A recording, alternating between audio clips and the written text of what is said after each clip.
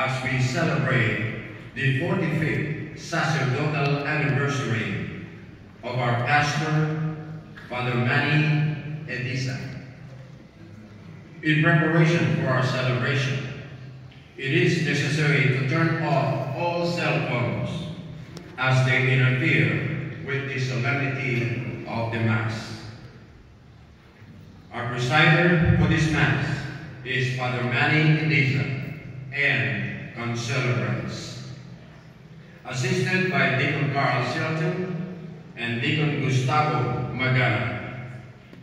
Please stand and greet the person next to you.